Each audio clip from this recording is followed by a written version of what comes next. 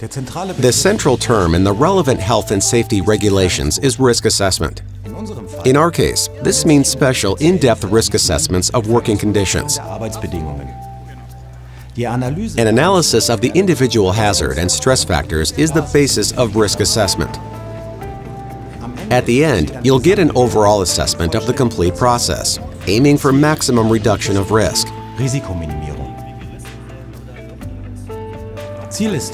The aim is to clearly distribute the responsibility for occupational safety to the employer, the operator, or his deputy.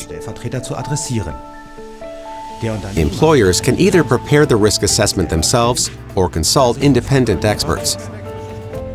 Example, for a confined space, there is a team of various experts needed who carry out the analysis together.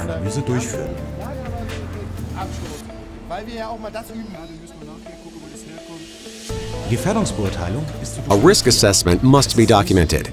Workplace hazards, the check of possible substitutions and the prospective results, as well as the protection measures taken. Everything has to be indicated.